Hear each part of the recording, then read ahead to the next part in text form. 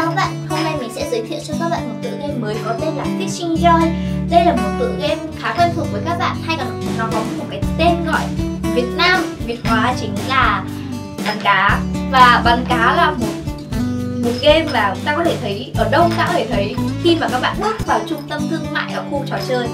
Ok. Ok, mình sẽ bắt đầu. Nó rất là đơn giản thôi các bạn có thể thấy các bạn sẽ chọn cái mức độ súng này. Và ở đây thì ta sẽ không phải mất tiền để nạp vào để uh, mua. Có nghĩa đây là một game free hoàn toàn. Các bạn sẽ chỉ cần mất tiền. Đấy là nếu mà các bạn thích thì các bạn có thể mua các trang bị linh tinh khác hoặc là game này nó sẽ không đòi hỏi các bạn là phải thật là nhiều lượt bắn.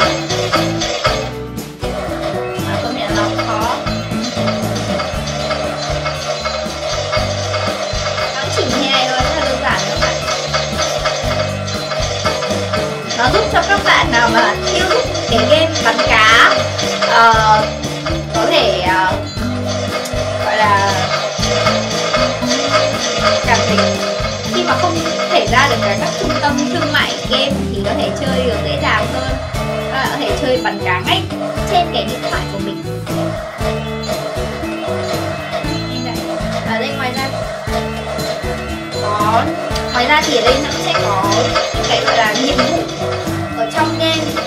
sẽ là bây giờ các bạn phải thu hoạch được 150 vàng trong vòng 3 phút.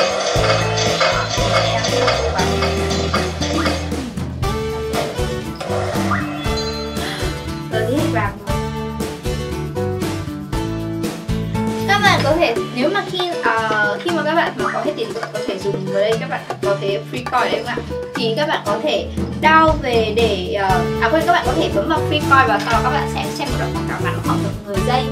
Ờ, và các bạn sẽ được tặng 50 coin. Và các bạn hãy sử dụng số tiền của mình cho thời gian thích hợp. Nếu đối với bạn nào mà các bạn không muốn xem nhiều quảng cáo các bạn có thể uh, mua mua thêm vàng ở trong game. Cảm ơn các bạn đã theo dõi. Hẹn gặp lại các bạn vào lần sau nha. Bye!